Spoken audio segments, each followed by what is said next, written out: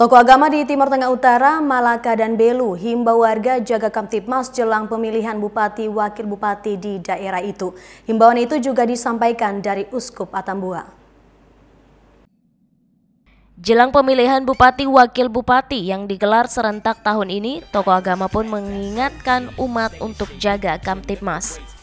Di Timur Tengah Utara, Romo Deken Kevamenanu, Romo Geraldus Salu PR meminta seluruh masyarakat di TTU untuk menjaga Kamtipmas jelang dan selama pemilihan bupati wakil bupati.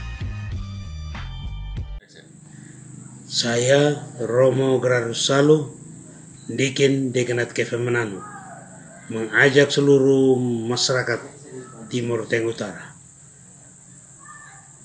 khususnya umat Katolik di Kabupaten Timur Tengah Utara untuk bersama Polda NTT mensukseskan Pilkada serentak 2020. Tuhan memberkati.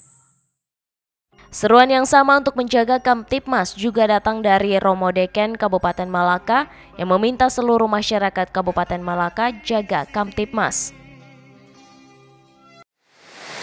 Saya Romo Etnulisako PR Deken Malaka mengajak masyarakat Kabupaten Malaka mengikuti Pilkada serentak tahun 2020 dan bersama Polda NTT menciptakan suasana Kamtipmas yang konduktif. Tuhan memberkati. Sementara Uskup Atambua menghimbau seluruh masyarakat di tiga kabupaten wilayah keuskupannya untuk mendukung aparat kepolisian Polda NTT dalam menjaga Kamtipmas jelang selama dan pasca pemilihan bupati dan wakil bupati di tiga kabupaten tersebut. Saya mengajak umat Katolik, khususnya yang berada di wilayah Kabupaten Belo, Kabupaten Malaka dan Kabupaten TTU. Marilah kita berjuang untuk menghindari semua berita-berita hoax,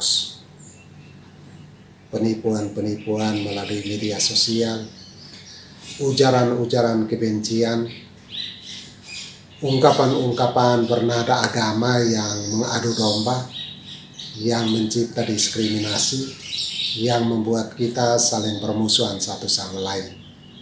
Mari kita saling menghormati, kita saling menjaga antar umat beragama, supaya pemilu sungguh-sungguh membawa manfaat untuk kita semua.